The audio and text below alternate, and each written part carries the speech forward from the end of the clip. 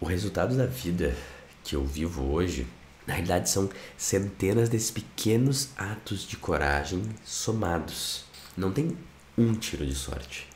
Existe a constância de se expor todos os dias. Ari, talvez tu não sinta que tu está vivendo com tanta coragem, se expondo e crescendo em todas as áreas da tua vida.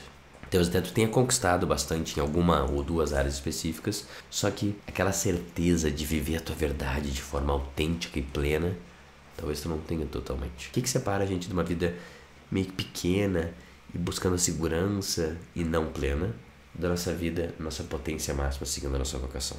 Tem só uma coisa que separa essas duas coisas: um salto. Um salto de fé. Para eu viver a vida na minha potência, eu tenho que entender que não sou eu que estou no controle totalmente e que na real sou uma ferramenta de algo maior. Sendo assim, eu não consigo saber que cada ação qual vai ser a consequência dela. Essa crença, não exatamente confiando em mim mesmo, na minha capacidade, mas confiando no universo.